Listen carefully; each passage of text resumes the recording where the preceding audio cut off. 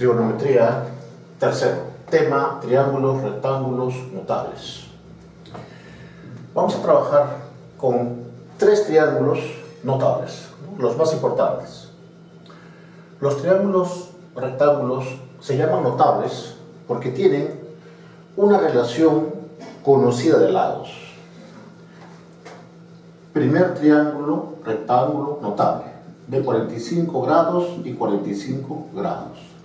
La relación de sus lados son. Ahí está. Siguiente. El triángulo rectángulo notable de 30 grados y 60 grados. La relación de sus lados es.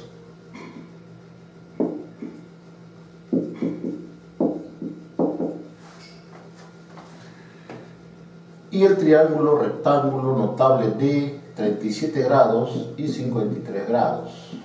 Relación de sus lados.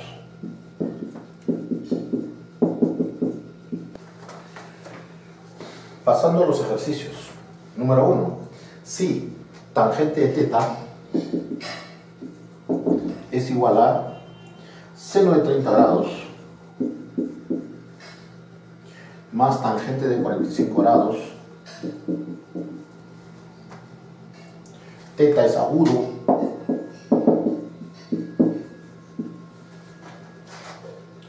Calcule raíz de 13 por seno de teta más coseno de teta.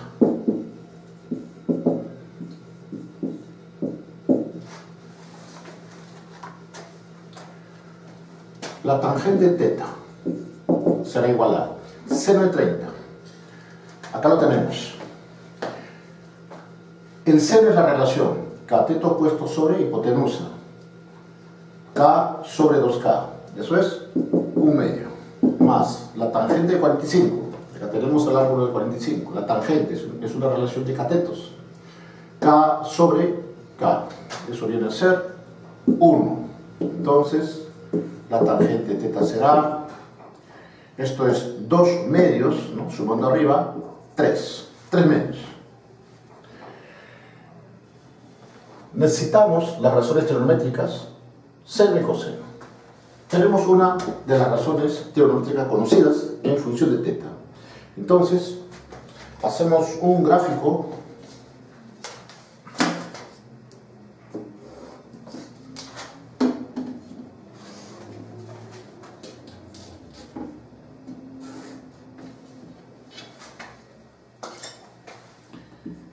teta. La tangente es 3 a 2. 3 sobre 2. La hipotenusa hallamos por Pitágoras. Cuadrado 9, cuadrado 4, sumamos 13 y sacamos la raíz cuadrada.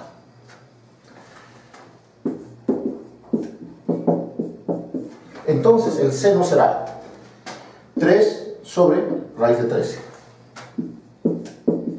Y el coseno será 2 sobre raíz de 13. Los radicales se simplifican quedando 3 más 2.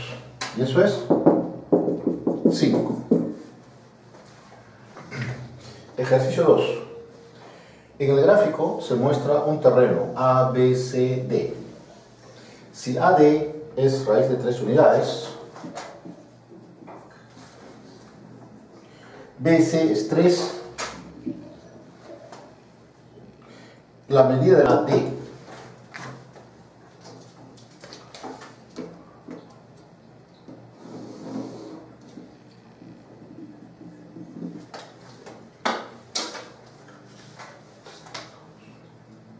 Y la medida del ángulo ACB. ACB es 90 grados. Ángulo recto. Calcule AB cuadrado más 4 cotangente cuadrado de B.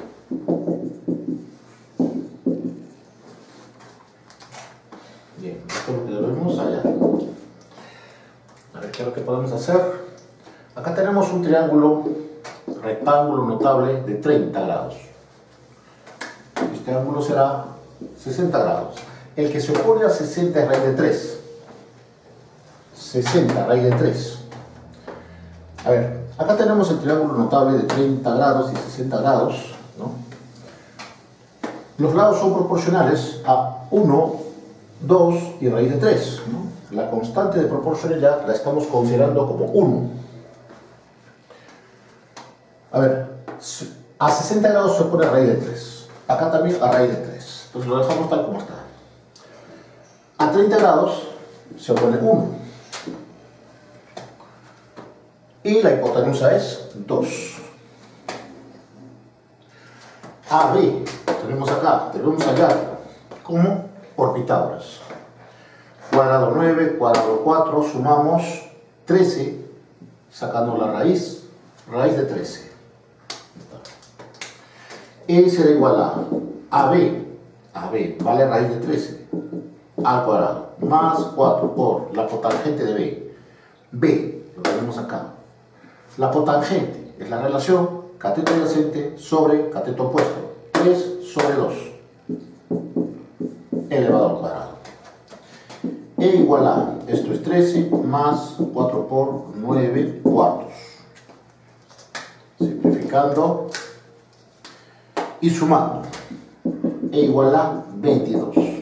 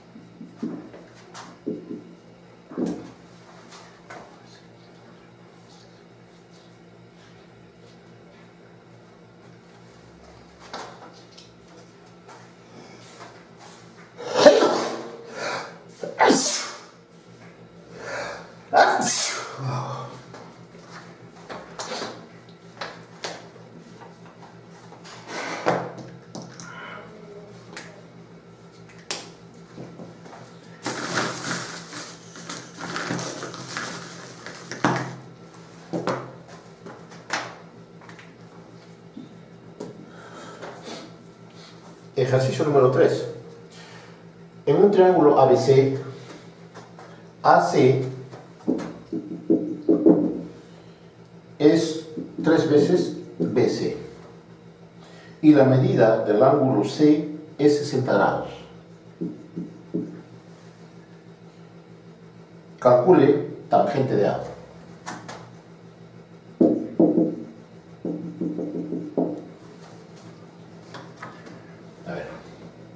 AC es igual al triple de BC.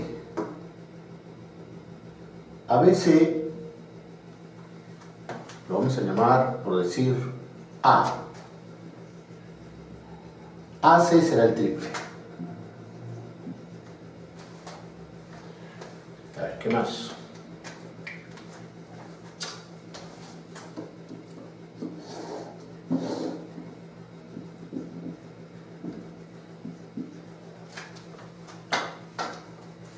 Vamos a trazar una perpendicular para formar un triángulo rectángulo notable.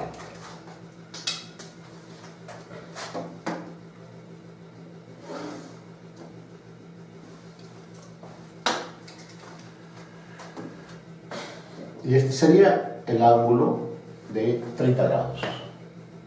Bien. Para una mayor sencillez podemos hacer lo siguiente. Acá tenemos el triángulo notable de 30 y 60 grados. hipotenusa A estamos considerando acá, pero podríamos cambiar por 2. 2. Entonces esto es 2, esto será 6. Bien, además podemos seguir completando. Miren, a 30 grados se opone 1. Entonces esto es 1. Hace 6. Esta parte será, por diferencia, 5. Y este cateto vendría a ser raíz de 3. ¿No es cierto? Raíz de 3, que se pone 60. ¿Qué nos pide? La tangente de A. La tangente de A, ¿no? Relación de catetos. Cateto opuesto, raíz de 3, sobre el cateto adyacente, 5. Sería la respuesta. Ejercicio número 4. Del gráfico, hallar el valor de tangente de teta.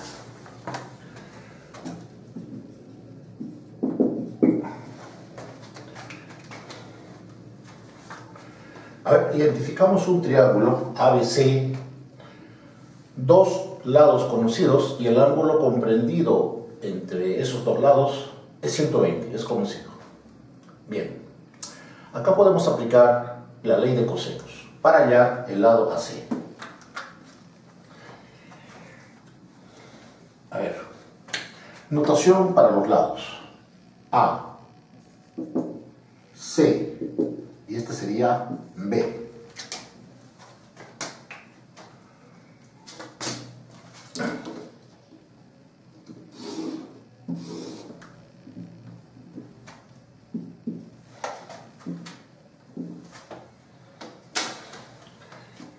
ley de cosenos. Nos dice que b al cuadrado, el lado que se opone al ángulo, b al cuadrado, es igual a a cuadrado más c cuadrado menos 2a por c y por el coseno del ángulo, en este caso, como vamos a poner alfa en general, de la fórmula, entonces b cuadrado será igual a a cuadrado, 16, c cuadrado, 4 menos 2, a por C, 4 por 2. Y acá es el coseno de 120. B cuadrado igual a 20 menos 16 eh, por el coseno de 120. Pero el coseno de 120 es igual, a acá, coseno de 120 es igual a menos coseno de 60 grados. Ya que 120 está en el segundo cuadrante y el coseno es negativo. ¿De acuerdo? Entonces, pero el coseno de 60 es un medio. Entonces esto será menos un medio. Al simplificar, 8. b cuadrado igual a 28. ¿no? ¿Qué más? Podemos decir también que b es igual a la raíz de 28. O bien 4 por 7, 2 raíz de 7. Tenemos el valor de b pero nos piden la tangente teta, entonces teta debe estar ubicado en un triángulo rectángulo necesariamente. Para eso trazamos una perpendicular a partir del vértice B. Tangente, cateto opuesto sobre cateto adyacente. A ver, vamos a llamar a esto, por decir, este, ¿qué vamos a llamar? Vamos a llamar X, a esto podríamos llamar y y a esto z. Entonces la tangente teta debe ser x sobre y. Bien, a ver qué podemos hacer. Lo siguiente, podemos expresar y y z en función de estos dos lados. En función de estos dos lados. Eso es aplicando el teorema de Pitágoras. Y luego hacer el siguiente planteamiento. La suma de y más z es igual a b. A ver, aplicando Pitágoras, y, y es igual a la raíz cuadrada de la hipotenusa al cuadrado, que sería 4, menos el otro cateto al cuadrado. Y z sería la raíz cuadrada de la hipotenusa al cuadrado 16 menos el cuadrado del otro cateto. Bien. También decimos que B es la suma Y más Z. Entonces, reemplacemos acá. B es igual a la raíz de 28. Y es igual a la raíz cuadrada de 4 menos x cuadrado. Más z es 16 menos x al cuadrado. Ahora, ¿qué hacemos? Elevamos al cuadrado ambos lados. Continuando por acá. Sería raíz cuadrada de 28 al cuadrado, 28.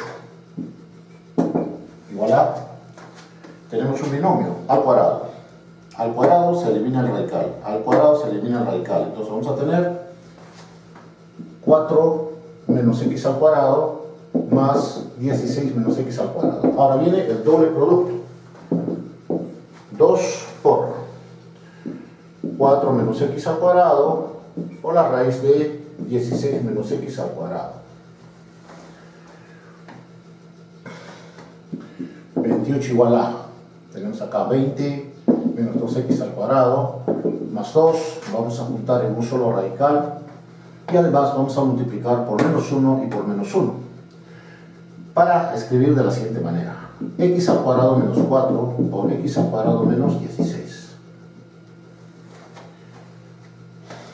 ahora podríamos hacer lo siguiente. Podríamos sacar mitad a todo. Entonces vamos a tener 14, 10 menos x cuadrado más el radical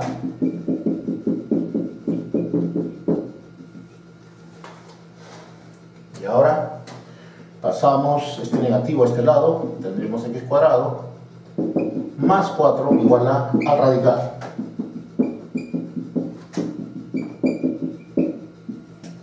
Y ahora que hacemos, elevamos al cuadrado ambos lados.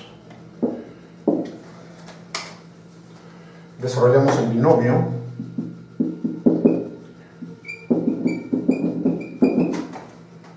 Y acá efectuamos el producto. ¿no?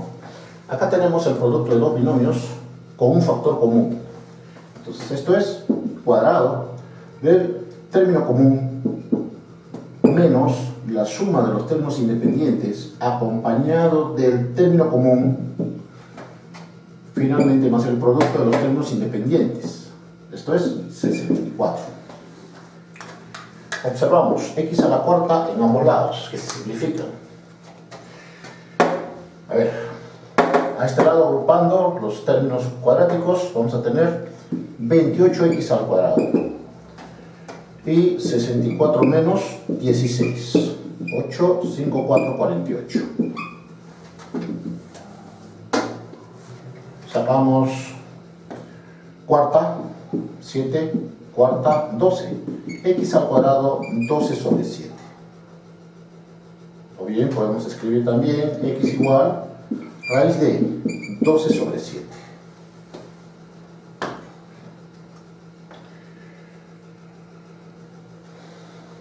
Bien, nuestro objetivo es hallar la relación x sobre y, ¿no? Esa es la tangente.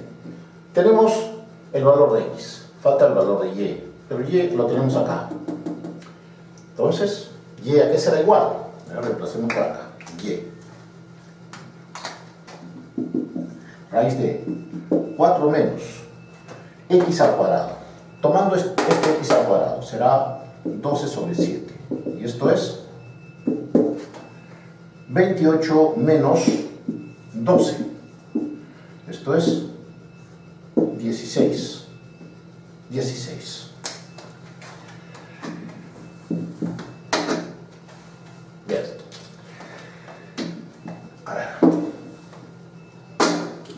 nos piden hallar la tangente de teta. La tangente de teta es x sobre y. x, ahí lo tenemos. Podemos escribir como raíz de 12 sobre raíz de 7. Y y, raíz de 16, es decir, 4 sobre raíz de 7. Simplificamos raíz de 7 queda extremos raíz de 12, pero 12 es 4 por 3, es decir, 2 raíz de 3. ¿no? Sobre 4. Simplificamos, sacamos mitad y el resultado final ¿no? para la tangente de teta sería raíz de 3 sobre 2.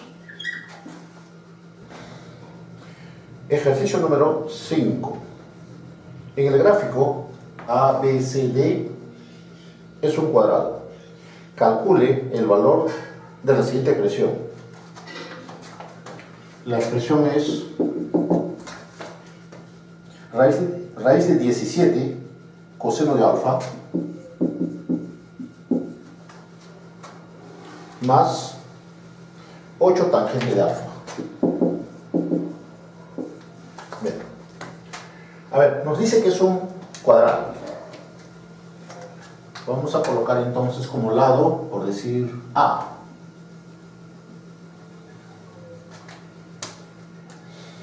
Bien, acá tenemos un triángulo rectángulo notable. Como es un cuadrado, pues ángulos rectos. Es un triángulo notable acá está el 53. Miren, este valor lo estamos tomando como A, ¿no? Valor, pero podríamos trabajar con algo más sencillo.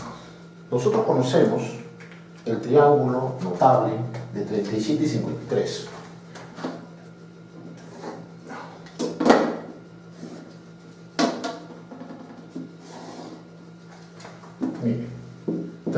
37 grados, 53 grados, los lados son proporcionales a 3K, 4K y 5K. Es más, para K igual a 1 nos queda ese triángulo con esos valores. Este es un triángulo rectángulo notable de 37 y 53. El que se opone a 53 a podríamos usar este valor, el que se pone a 53, 4. 4. Bien, entonces el que se opone a 37 va a ser 3. Como el lado vale 4, completamos acá 1. Ya está. Ahora, ¿qué podemos hacer? Que nos piden, estamos hallar la hipotenusa. Hallando la hipotenusa sería cuadrado 16, cuadrado 1, la suma 17, raíz de 17. E igual a raíz de 17. El coseno de alfa, el coseno, está definido como el cateto de 7 sobre la hipotenusa. 4 sobre raíz de 17. Más 8, tangente de alfa. La tangente, cateto opuesto sobre cateto adyacente, un cuarto. Simplificamos cuarta, cuarta. Nos está quedando 4 más 2. Y eso es 6. Repuesto.